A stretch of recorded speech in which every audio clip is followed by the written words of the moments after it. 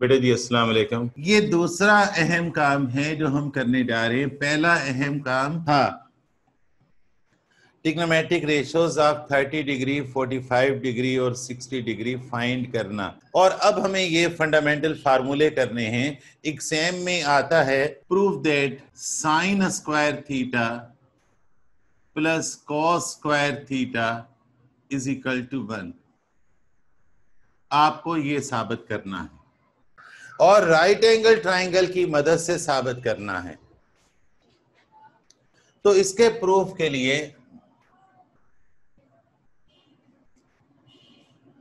लिखिएगा consider a right angle triangle rate मत लिख दीजिएगा। In which right angle triangle बना लीजिएगा। ये ए है, ये बी है, और ये वर्टेक्स सी है। ये एंगल थीटा है, ये एंगल 90 डिग्री है जिसका डिब्बा बना रखा है। इस वर्टेक्स के सामने वाली साइड की लेंथ ए है, और इसके सामने वाली लेंथ सी है, और इसकी सामने वाली लेंथ बी है। ये साइड परपेंडिकुलर कहलाएगी। बड़ी डिटेल से मैं आपको सिखा चुका हूँ। ये बेस कहलाएगी और ये हाइपोटेनियस जिसे मैं मज़ाक में हाइपोपोटेमस कहता हूँ। इसमें length of side C B जिसे आपने स्मॉल ए कहा है, ये है परपेंडिकुलर। पूरा लिखिएगा। Length of side A C जिसे आपने स्मॉल बी से ज़ाहिर किया है this is base length of side A B जिसे आपने छोटे सी से ज़ाहिर किया है, ये है हाइपोटेनस पूरा लिखिएगा. अकॉर्डिंग टू पैथागोरस थ्योरम तो पैथागोरस थ्योरम है a square plus b square is equal to c square यानी परपेंडिकुलर का स्क्वायर प्लस बेस का square is equal to hypotenuse का स्क्वायर दो साइड्स के स्क्वायर का सम हमेशा तीसरी साइड के स्क्वायर के इक्वल होता है। ये है पैथागोरस थ्योरम अब जरा गौर कीजिएगा, जो चीज़ आपको साबित करनी है उसमें ज़िक्र किस किस का है? उसमें ज़िक्र है साइन थीटा का और उसमें ज़िक्र है कोस थीटा का। साइन थीटा है परपेंडिकुलर अपान हाइपोटेनियस और कोस थीटा है base upon hypotenuse. What is the common value in this ratio c शाबाश, हाइपोटेनियस। इन दोनों में गौर कीजिएगा सी डिवाइड करने वाला है।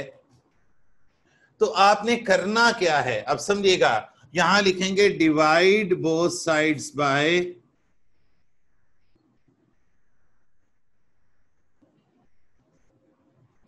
c square क्योंकि फार्मूले में देखिए sine square theta cos square theta है तो आपको अगर गौर करें, अगर मैं इसे स्क्वायर करता हूँ तो ये भी क्या होंगे? स्क्वायर होंगे।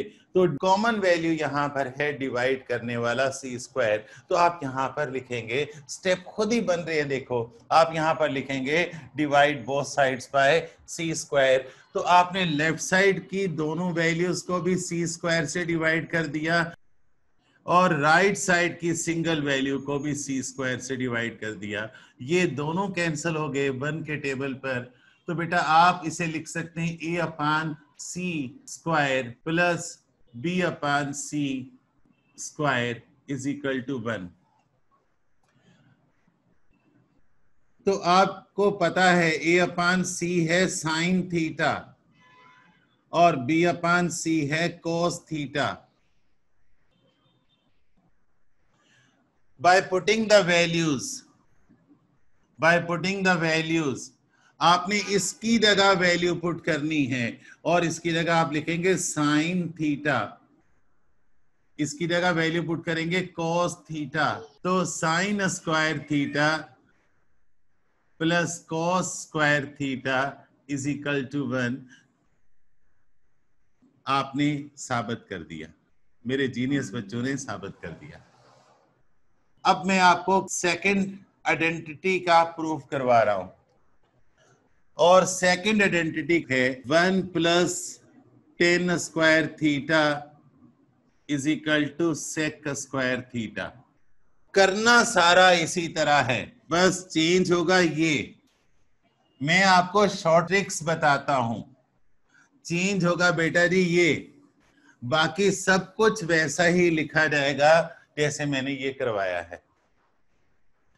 आपने अब जो साबित करना है, उसे देखिएगा। उसमें किस किस का ज़िक्र है? उसमें ज़िक्र है टेन थीटा का भी और उसमें ज़िक्र है सेक थीटा का भी।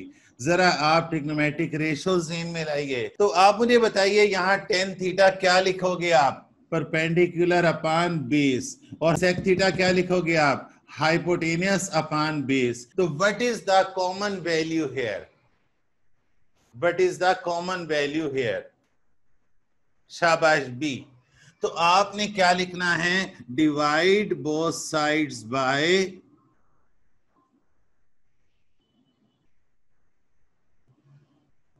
b नहीं बी स्क्वायर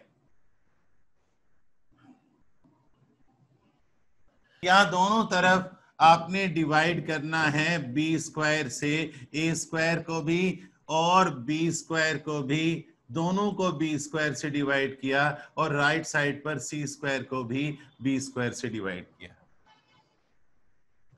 ये बी स्क्वायर इस बी स्क्वायर को कैंसिल कर देता है तो a square upon b square plus one is equal to c square upon b square आप इसे one plus a square upon b square is equal to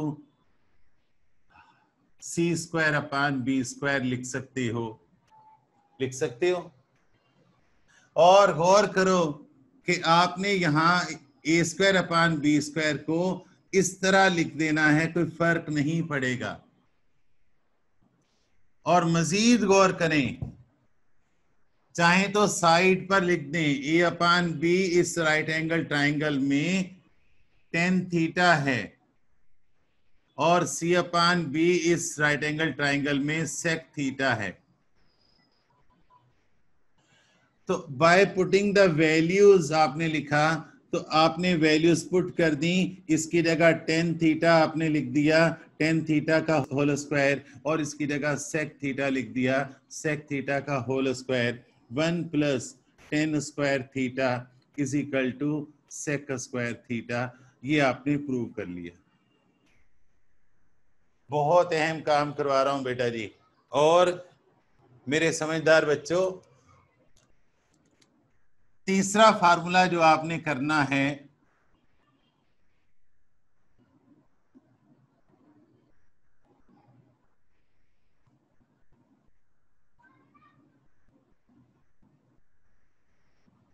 इसका प्रूफ करना है। इसी टेक्निक से, देखो यहाँ तक सेम नोट करोगे, डिवाइड बोथ साइड बाय आपने लिखना है और यहाँ पर आपने फार्मूलों का रेफरेंस नहीं देना, अपने सोचने के लिए वैल्यूज़ लिखनी है। किसकी वैल्यू लिखनी है? जिसका ज़िक्र है कॉट थीटा का ज़िक्र है और कोसेक थीटा का ज़िक्र है। और उसके बाद आपने ये स्टेप्स करने हैं। गौर कीजिए कोट थीटा क्या होता है? Base upon perpendicular cosec theta क्या होता है? हाइपोटेनियस अपान परपेंडिकुलर तो आपको डिवाइड करना है ए स्क्वायर से। तो आपने ए स्क्वायर से दोनों तरफ़ डिवाइड किया a square upon a square plus b square upon a square is equal to c square upon a square तो ये दोनों आपस में कैंसल हो गए। One plus b square upon a square is equal to c square upon a square आप इसे इस तरह भी लिख सकते हैं।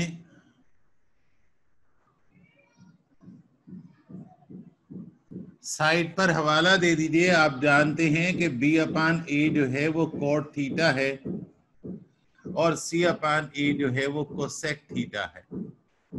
तो one plus cot square theta is equal to cosec square theta. आपने ये भी साबित कर दिया। बहुत अहम है बेटा। तो आज का काम मुकम्मल हुआ। ओके बेटा अल्लाह हाफिज।